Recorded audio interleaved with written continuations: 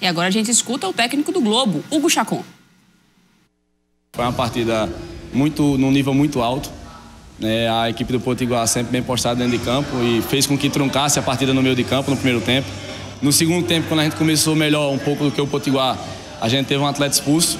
Né, e nessa expulsão do atleta que nós tivemos, a gente teve que recuar, que é natural. E aí daí em diante o Potiguar começou a propor o jogo.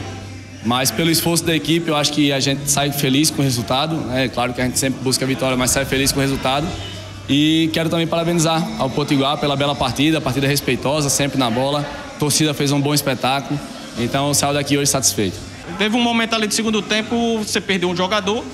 Ao invés de você trazer sua equipe para trás, não, você lançou dois jogadores de frente e foi em busca do resultado. Gostaria que você comentasse essa mudança tática, o que é que você pensou ali durante o jogo.